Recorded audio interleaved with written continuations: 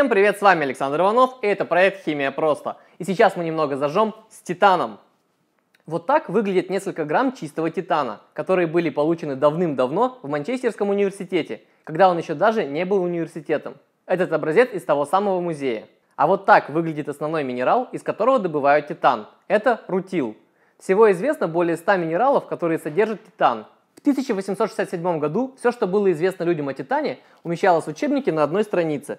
Началу 20 века ничего особо не изменилось. В 1791 году английский химик и минералог Уильям Грегор в минерале минокините открыл новый элемент и назвал его минокином. Чуть позже, в 1795 году, немецкий химик Мартин Клапрот открыл новый химический элемент в другом минерале – в рутиле. Свое название Титан получил от Клапрота, который назвал ее в честь царицы эльфов Титанией. Однако по другой версии название элемента происходит от титанов, могучих сыновей богини Земли Геи. Однако в 1797 году выяснилось, что Грегор и Клапрот открыли один и тот же химический элемент, но название осталось то, которое дал Клапрот. Но ни Грегор, ни Клапрот не смогли получить металлический титан. Они получили белый кристаллический порошок, который был двуокисью титана. Впервые металлический титан был получен русским ученым в 1875 году, но как это бывает, без должного освещения его работа была не замечена. После этого чистый титан получали шведы Нильсон и Петерсон, а также француз Муассан. И лишь в 1910 году американский химик Хантер усовершенствовал предыдущие способы получения титана и получил несколько граммов чистого 99% титана. Именно поэтому в большинстве книг именно Хантер указывается как ученый, получивший металлический титан. Большого будущего Титану никто не пророчил, так как малейшие примеси в его составе делали его очень хрупким и непрочным, что не позволяло проводить механическую обработку. Поэтому некоторые соединения Титана нашли свое широкое применение раньше, чем сам металл. Четыреххлористый титан использовался в Первую мировую войну для создания дымовых завес. На открытом воздухе тетрахлорид титана гидролизуется с образованием оксихлоридов титана и оксида титана – Белый дым, который мы видим, это и есть частицы оксихлоридов и оксида титана. То, что это именно частицы, можно подтвердить, если мы капнем несколько капель тетрахлорида титана в воду. Тетрахлорид титана в настоящее время используется для получения металлического титана. Метод получения чистого титана за 100 лет не изменился.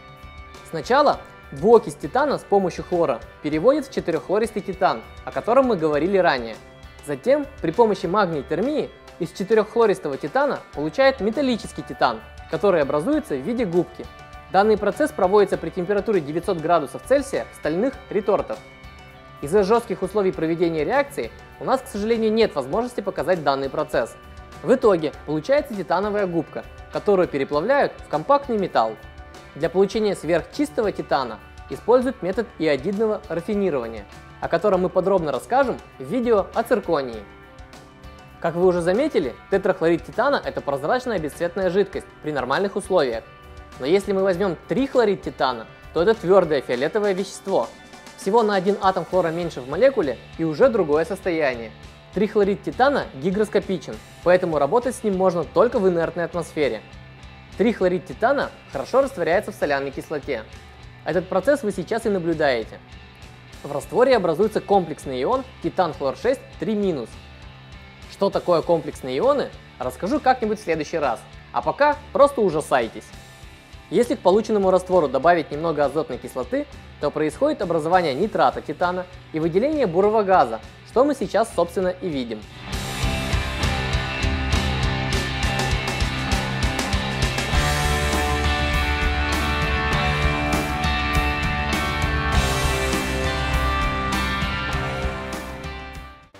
Существует качественная реакция на ионы титана.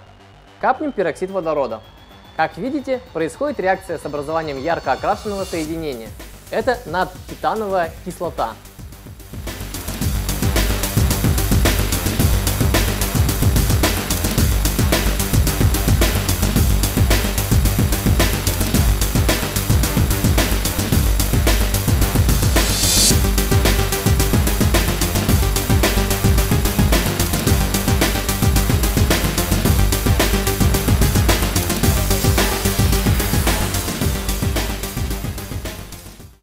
1908 году в США двуокись титана стали использовать для производства белил, которые пришли на смену белилам, в основе которых лежали свинец и цинк.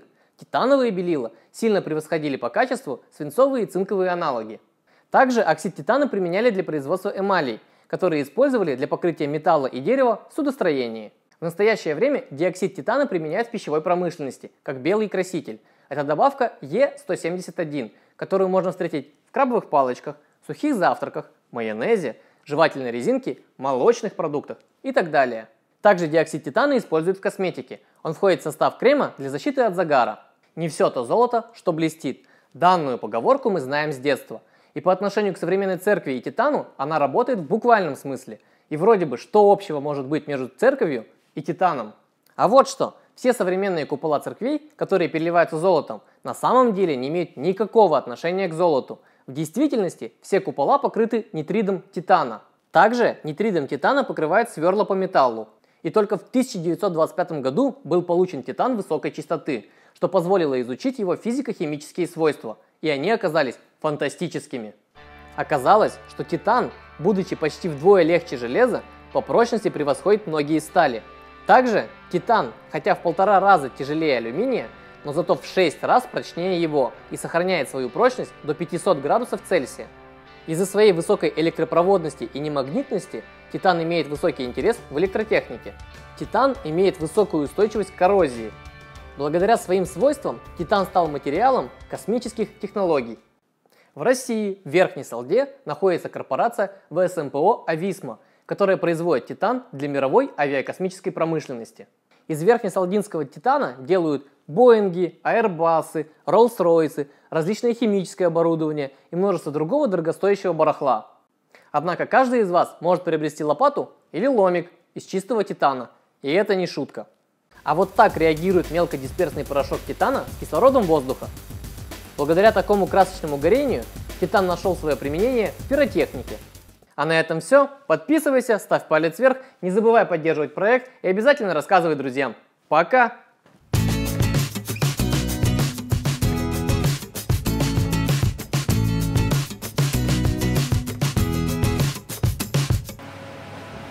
Может, в стаканчик налить вначале? Да ладно. Чуть-чуть ли. Парит, уже хорошо. О, как жидкий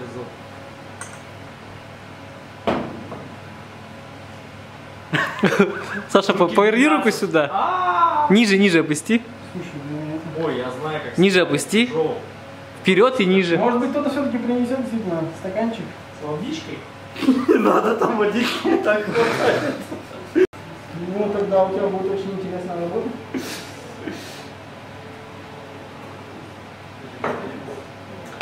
Это я зря сделал, конечно. Со мной связался? Нет, ты пролил на баночку. Ее помыть можно. Закрой для начала.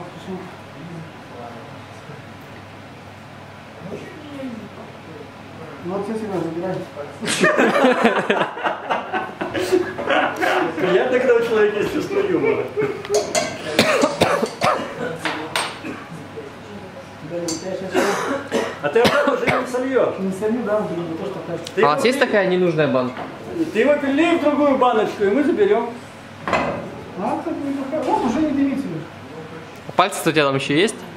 Но резинку пока вроде не берет, правда, она стала липкой. О, утонул. Вот, тяжелый.